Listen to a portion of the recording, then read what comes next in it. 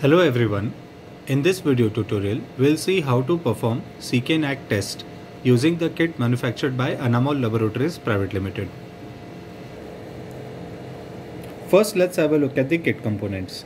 The kit contains one bottle of CK-NAC R1 reagent, one bottle of CK-NAC R2 reagent, and the instructions for use. We recommend all the users to read the instructions for use thoroughly before using the test. Apart from this, you may require additional items such as clean and well calibrated pipette of 1000 microliter volume, clean and well calibrated pipette of 100 microliter volume, clean and dry tips of 1000 microliter volume, clean and dry tips of 100 microliter volume, tissue paper, clean and dry tube in which the test is to be performed, and the patient sample. Now before looking at the procedure, first let's pay attention to the preparation of working solution. Because CK-NAC is a double reagent system, the working solution is prepared by mixing 4 volumes of R1 with 1 volume of R2. Now according to the procedure, we need to take one tube for one test.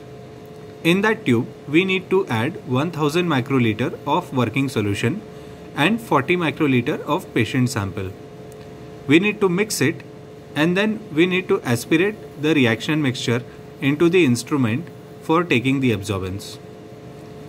To prepare 1000 microliter of working solution, we need to add 800 microliters of R1 and 200 microliters of R2. So now we will see how to prepare the working solution.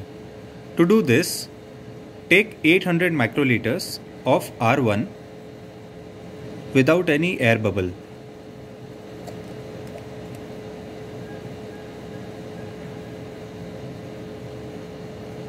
And then add it to the tube which is already pre-labeled for the test.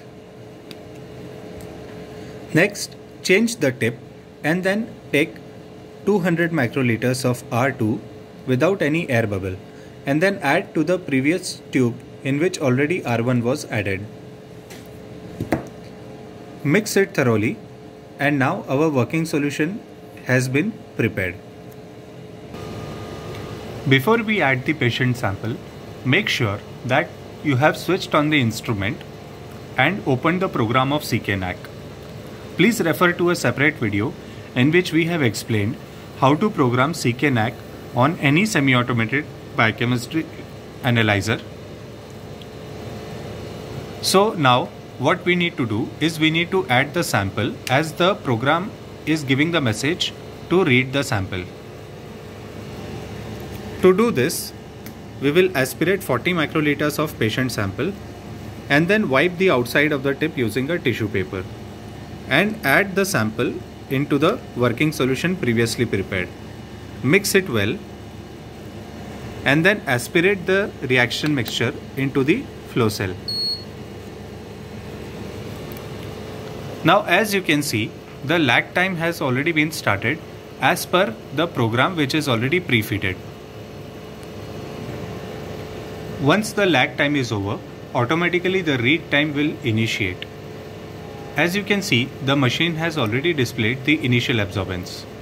Now in this case, the initial absorbance is less than 0.7 which is as per the specification by the manufacturer.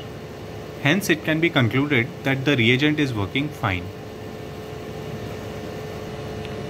After the read time is over, the instrument will automatically calculate the delta absorbance per minute and multiply it by the factor to give the result. If you wish to run more patient samples, you need to follow the exact same procedure. This is the correct way to perform CK-NAC test. Thank you and we hope this video has been helpful for you.